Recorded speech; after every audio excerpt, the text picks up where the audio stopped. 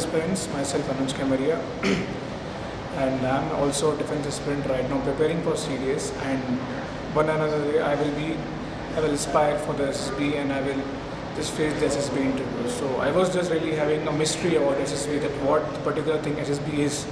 Many people say that SSB is a mystery and it's a really hard interview but now after this session i really feel like ssb it's a simple process and it, it could be it could be conquered. It's not a big thing. It's just a evaluation of your personality.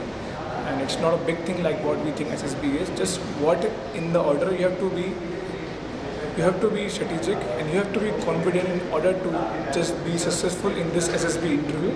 All i want to say is that just be be confident be quick and be strategic that what you have to do. Plan your things, have some have some good habits, have a schedule, and just be like an officer. Okay, friends. Good luck and all the best for your SSBs. Thank you so much.